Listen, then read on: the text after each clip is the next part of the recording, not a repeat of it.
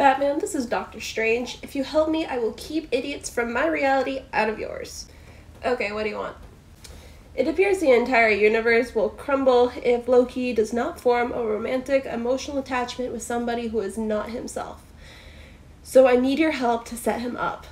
Why come to me? Because nobody knows everybody the way you do. You're the one with all the contingency plans in case we go evil. Fair enough. Have you tried Deadpool? He said no. Deadpool said no to a chaotic switch with godlike stamina? Yeah, it surprised me too. I guess I could ask Catwoman. No, Catwoman isn't willing to put in the time. Constantine's not interested. I asked Supergirl and she politely said no, but her cousin shot laser beams into my fucking house as a fucking warning in case I decided to ask her again. What about Wonder Woman? She can handle Loki. Out of fear of my life, I don't want to ask her. Hmm. How about Harley Quinn? I thought she was dating Poison Ivy.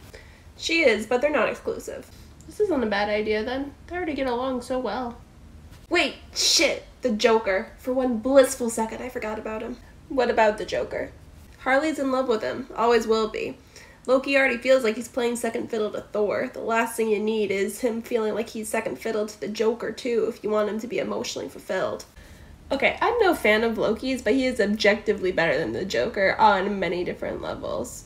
Surely he can get rid of her fixation with the guy. You're kidding, right? This is Harley Quinn. Do you really think she's rational?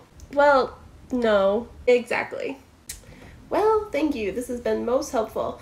Oh, by the way, Jason Todd is alive. You might want to go ask the League of Assassins about that. Goodbye. Wait, what?